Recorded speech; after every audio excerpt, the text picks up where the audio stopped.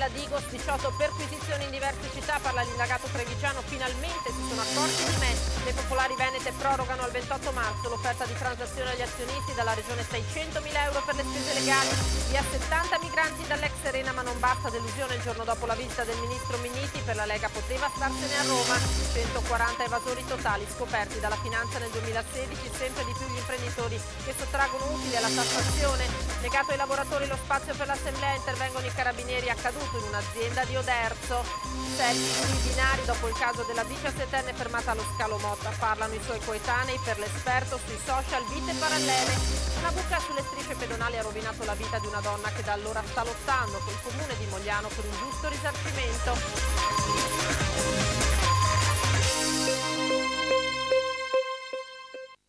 Buonasera dalla redazione di TG Treviso e dunque abitazioni passate al setaccio e 18 indagati. Nel mirino degli investigatori il movimento 9 dicembre, i forconi. Tra le persone indagate c'è anche un trevigiano che eh, dice eh, finalmente si sono accorti di me, avrebbero inneggiato all'arresto anche del Presidente della Repubblica avevano inviato alle procure, diffuso in rete, un documento che si auspicavano fosse l'inizio di una sorta di rivoluzione. Speravano nell'arresto di tutti i parlamentari, rei, a loro avviso, di essere abusivi dopo la sentenza della Corte Costituzionale sulla legge elettorale ed avevano già cominciato con le dimostrazioni delle loro intenzioni, come l'esecuzione dell'ordine di cattura popolare ai danni dell'onorevole Osvaldo Napoli. Ci sono anche un trevigiano e un triestino, simpatizzanti del movimento 9 dicembre, i Forconi, tra i 18 iscritti nel registro degli indagati per i reati reati di associazione a delinquere finalizzata all'istigazione a delinquere e all'usurpazione di pubbliche funzioni. Anche i due cinquantenni del nord-est avrebbero condiviso in rete il famoso documento di 19 pagine inviato alle procure e ai comandi dei carabinieri di mezza penisola. Eh, diffondono una serie di messaggi dal contenuto inquietante che eh, sinceramente possono generare anche in altre persone dei gravi fatti lesivi e dell'incolumità pubblica e dell'ordine e della sicurezza pubblica. Il leader del movimento, il generale dei carabinieri in pensione Antonio Pappalardo, intanto alza l'asticella dello scontro frontale con le istituzioni e spiega di non essere disposto ad arretrare. Invece di andare ad arrestare i parlamentari abusivi, vanno a perquisire le case dei denuncianti. E noi per prima, se andremo al potere, la prima cosa che faremo, elimineremo le DICOS, perché in un paese democratico non debbono esistere, non debbono esistere le polizie politiche.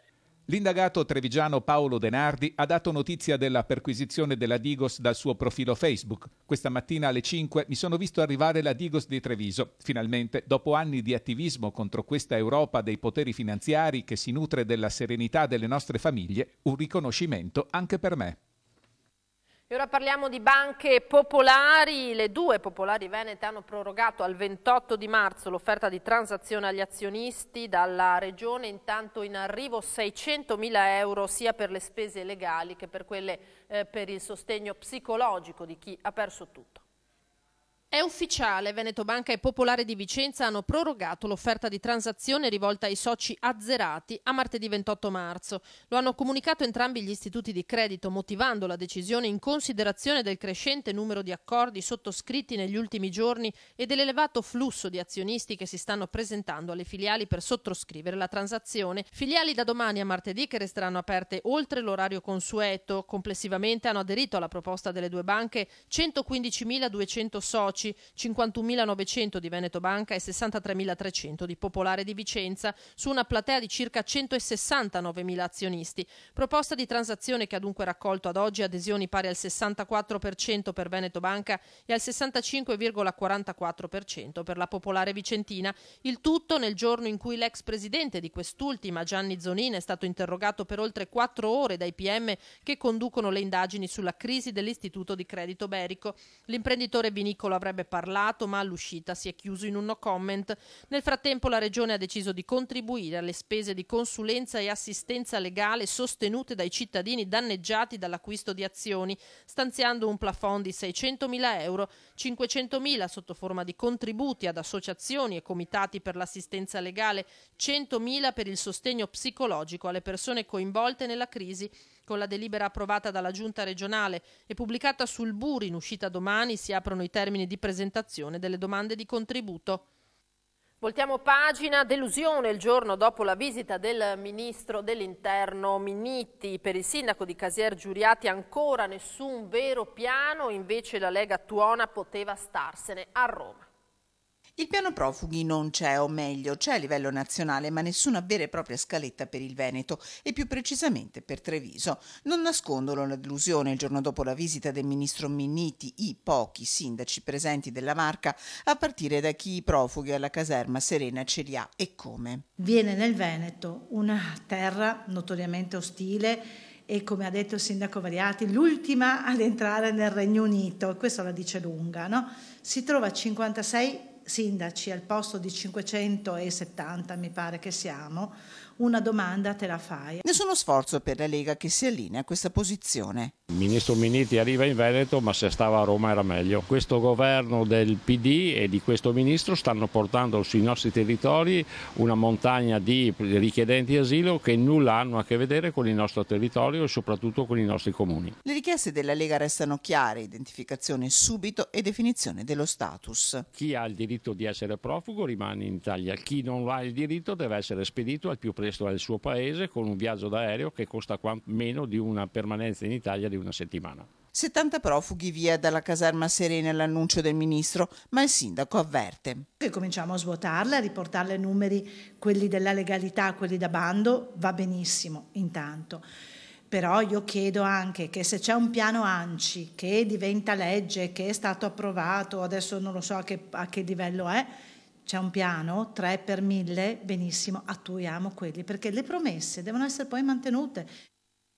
E dopo la visita del ministro Minniti a parlare di sicurezza sono anche i poliziotti, gli uomini che ci lavorano in prima linea.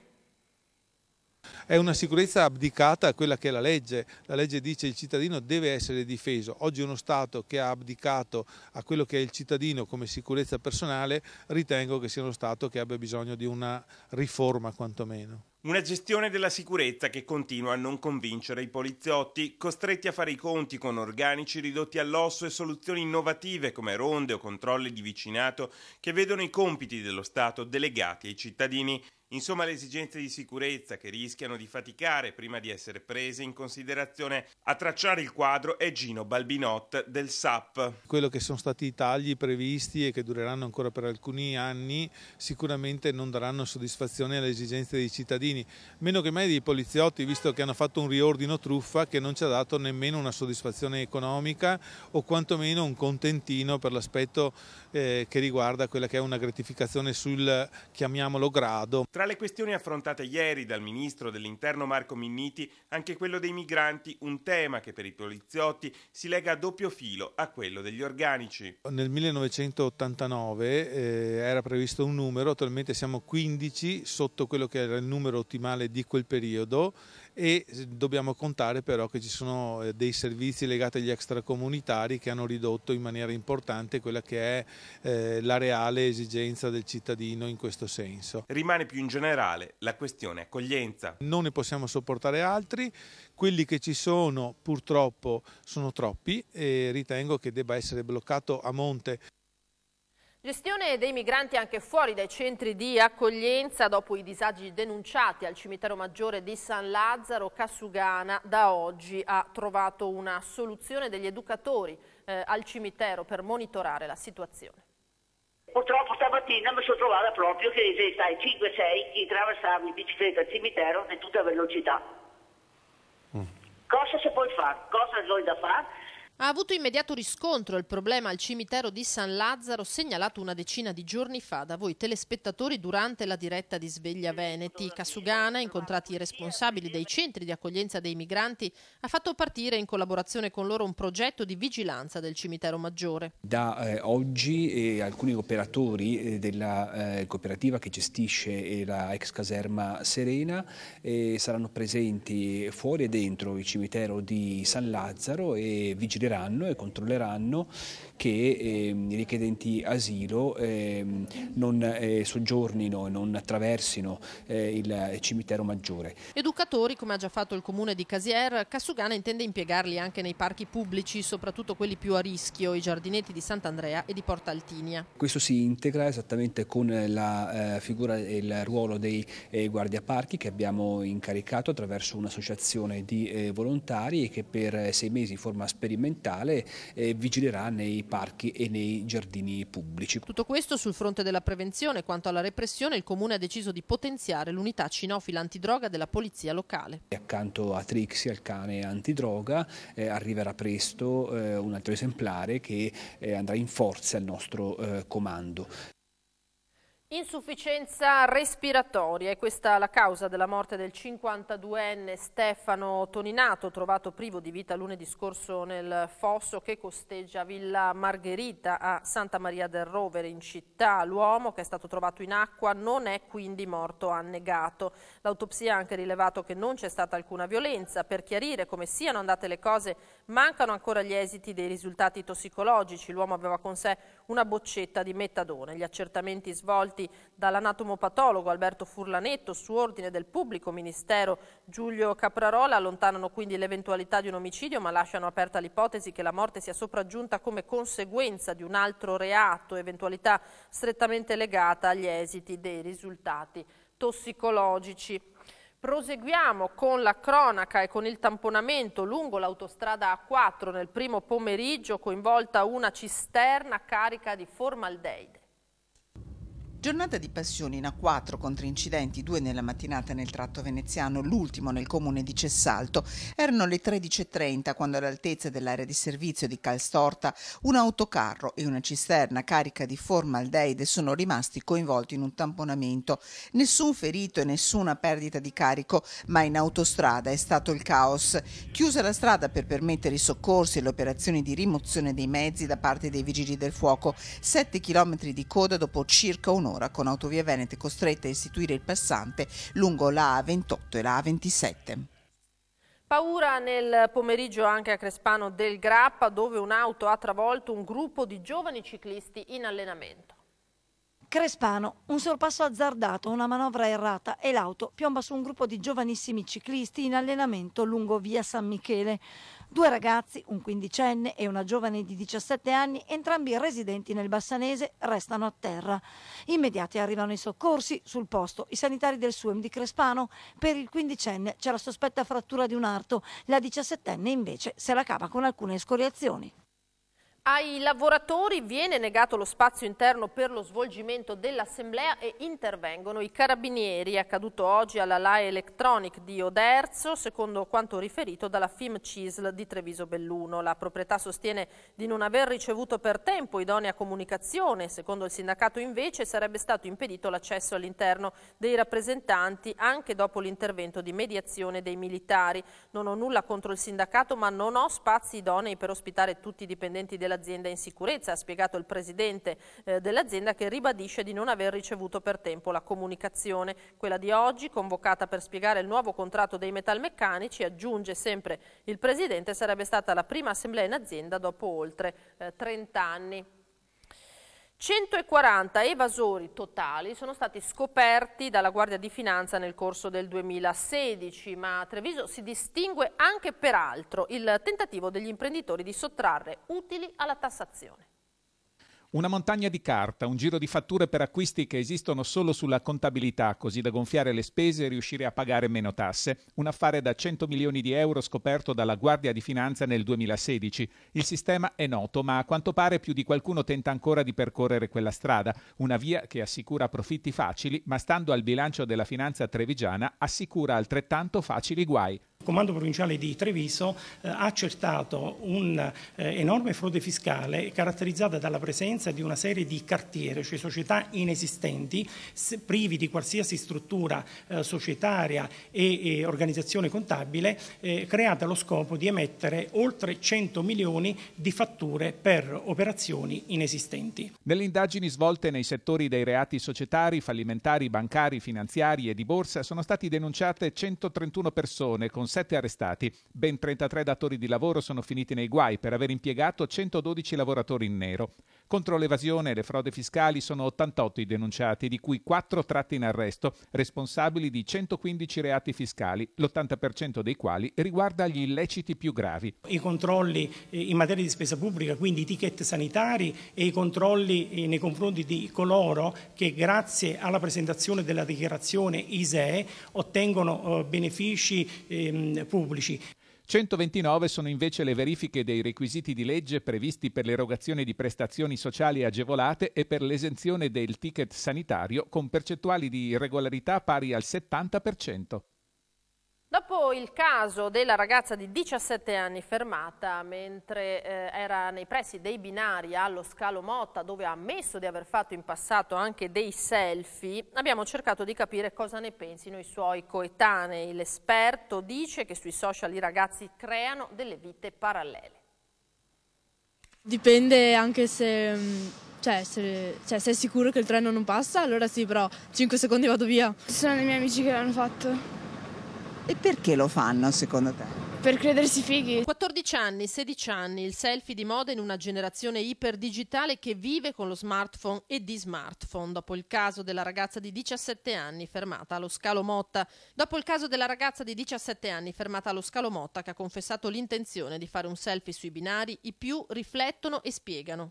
Rischiare la vita soltanto per eh, farsi vedere sui social non è, non è cosa da me. Non lo farei perché ho paura di essere investita da un treno. È rischioso, cioè è una cosa stupida per farsi vedere dagli altri, per avere magari più amici finti che non amici veri sui social, ecco. I social, vetrine, ma soprattutto piazze virtuali dove essere diversi da quello che si è realmente. Un gioco pericoloso soprattutto in adolescenza. Io spesso vedo eh, ragazzini che eh, frequentano il nostro servizio eh, che si rappresentano in maniera completamente diversa nei, nei, social media. Ci sono quasi delle vite parallele direi nei, nei social media, insomma i ragazzi si rappresentano in maniera molto diversa e molto distante da quello che sono nella realtà. Ma le nuove tecnologie possono rivelarsi vincenti anche sul fronte della prevenzione. È il caso del servizio Whatsappiamo dell'ULS 2 che attraverso una lista anonima in broadcast ha raggiunto da maggio a oggi 300 utenti. Abbiamo dei gruppi di genitori che fanno dei percorsi di formazione con noi ricevono dei contenuti dei piccoli messaggi eh, legati ai contenuti dei percorsi che, che, seguono. Abbiamo i ragazzi che fanno la peer education sulla problematica dell'alcol nelle scuole. La caduta due anni fa mentre andava a vedere la recita della nipotina, una buca sulle strisce pedonali, ha rovinato letteralmente la vita a una donna che da allora sta lottando con il comune di Mogliano per un giusto risarcimento e adesso ha deciso di portarlo in tribunale. Stavo andando alla festa di fine anno di mia nipotina, dalla chiesa attraverso le strisce pedonali per andare alla scuola materna. Purtroppo all'altezza della striscia pedonale c'era una buca e c'è la striscia, so- la striscia sopra e mi sono inciampata 17 marzo 2015, una data che la signora Loretta non dimenticherà più. Una caduta accidentale su una buca piccola ma insidiosa sulle strisce pedonali davanti alla scuola dell'infanzia di Zerman le ha complicato di non poco la vita.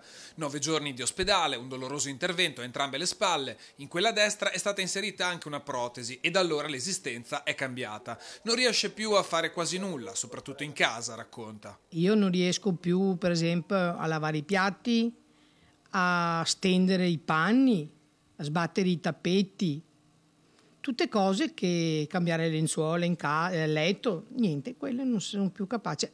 A volte mi fa voglia prendere in braccio mia nipotina, però non ce la faccio un dolore per una nonna non poter prendere in braccio una nipote, soprattutto se hai 59 anni e una grande vitalità e se a 57 anni, 10 mesi dopo la pensione, un simile incidente ha mandato all'aria la tua esistenza. Una donna delle pulizie in casa, ma soprattutto più di 180 euro a settimana tra terapie, ginnastica e riabilitazione. Da allora per la signora Loreta che da subito ha chiesto conto di quanto le era accaduto al comune di Mogliano rivolgendosi allo studio 3A. Nessun tentativo di conciliazione da allora e la buca è rimasta al suo posto. Lì appunto secondo noi c'è la responsabilità principale dell'amministrazione comunale perché su questo attraversamento pedonale vi sono stati più rattoppi e sono mh, ampiamente visibili. Lunedì il comune di Mogliano è stato citato in tribunale. Finora ha speso 25.000 euro per curarsi. Loretta Fantin vorrebbe vedersi riconoscere almeno questi.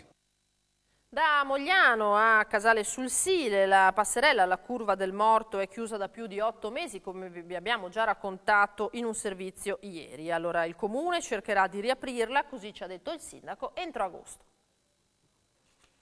La passerella alla curva del morto è a un binario morto. Il gioco di parole ci può stare, ma qui a Casale nessuno ha voglia di scherzare. Lo hanno sintetizzato bene i residenti che hanno chiamato le nostre telecamere per documentare il paradosso. Un tratto che si interrompe lasciando pedoni e bici a ridosso di una strada trafficata e pericolosa. È una situazione insostenibile. Stanno, stanno aspettando il morto. Quasi nove mesi di blocco per la passerella crollata. Possibile? Sì, possibile. Lo ribadisce oggi con amarezza il sindaco di Casale sul Sile Stefano Giuliato, che sta cercando una soluzione. A monte un grosso problema. Chi realizzò la passerella in legno nel 2003 doveva anche pianificare delle manutenzioni che non sono mai state realizzate. Ecco il guaio del crollo dopo appena 13 anni l'estate scorsa, al quale l'amministrazione, dopo lo stop al transito, cercò di porre rimedio abbandonando l'idea di rifarla così com'era e scegliendo un altro progetto, meno costoso e più pratico. Questa soluzione abbandonava la struttura in legno e noi ipotizzavamo un terrapieno. Dalla conferenza dei servizi gli enti preposti alla tutela del paesaggio oh, purtroppo si sono espressi in maniera contraria e ci hanno dato indicazioni diverse. Stop dalla soprintendenza ai beni paesaggistici, così il tempo è passato nella riprogettazione di un'altra soluzione, approvata a marzo del costo di 255 mila euro. Spesa importante ma con un vantaggio.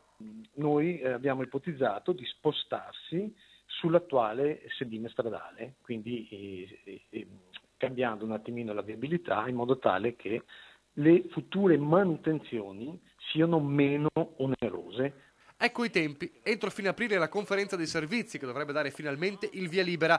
Poi tre mesi per il cantiere. Insomma, avviso a ciclisti e pedoni. Massima prudenza perché non se ne parla prima di agosto. Sempre che si trovino i soldi. Attualmente dire ci sono tutti sarebbe una falsità. Io dico una parte ci sono e quindi ho fiducia che possono entrare anche perché è una delle priorità Domani sera dalle 21.05 a Focus, vi ricordo anche quest'anno la diretta del processo a Veccia di metà quaresima a Ponte Dante. Rete Veneta vi proporrà ampie finestre sul rogo organizzato per la 51esima volta in riva al Sile, non più dall'Associazione Amici di Ponte Dante ma dal gruppo folcloristico trevigiano.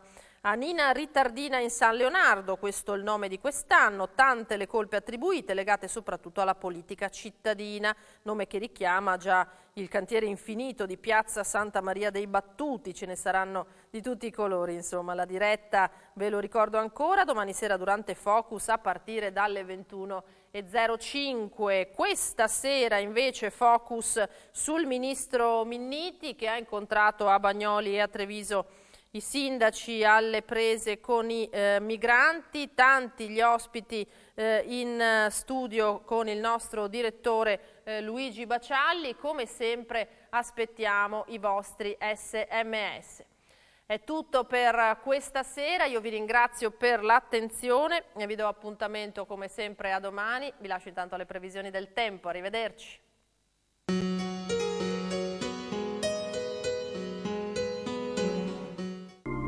Le previsioni per domani. Cielo in prevalenza nuvoloso o molto nuvoloso. Precipitazioni. Su zone montane e pedemontane precipitazioni sparse, specie sui settori più occidentali. In pianura graduale aumento della probabilità di precipitazioni da locali a sparse, specie verso ovest. Temperature minime stazionarie o in locale diminuzione, massime in aumento.